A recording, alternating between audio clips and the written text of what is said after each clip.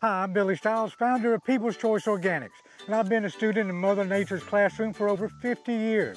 Now it's time to give back what I've learned. It's not necessary to use harmful chemicals to grow our food, keep our lawns and landscape green, or control weeds and insects. Make a better choice. Use our safe, non-toxic organic products. Go to peopleschoiceorganics.com. Our organic products don't cost more, they just do more. Help your heat-stressed lawn year-round and improve your soil at the same time with Jackhammer Liquid Soil Aeration.